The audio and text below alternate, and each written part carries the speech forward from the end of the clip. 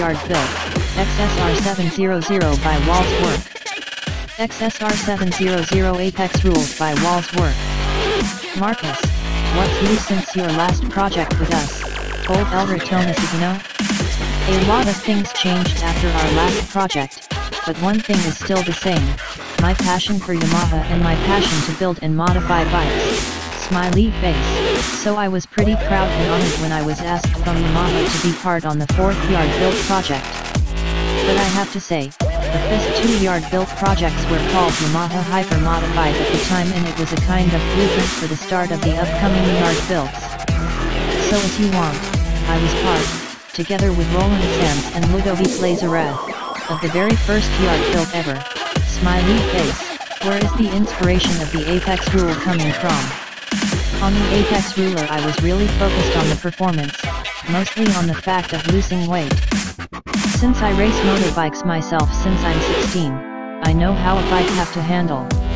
It's not that much important how much power it has, most important is the power to weight ratio. I brought the bike down to 145 kilograms, ready to run. I increased a bit the power of the engine with another exhaust airbox modification and a power commander, so at the end we had around 85 HP on the rear wheel. So to come back to your answer, the inspiration for this bike is a mix of a high-performance race bike and an old-school dirt track racer. What are the technical slash design specifications? Here are just the important modifications and parts. Roto box carbon wheels, one of a kind.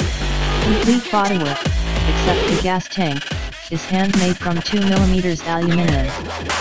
Suspension front and rear is from Wilbers, both one of a kind.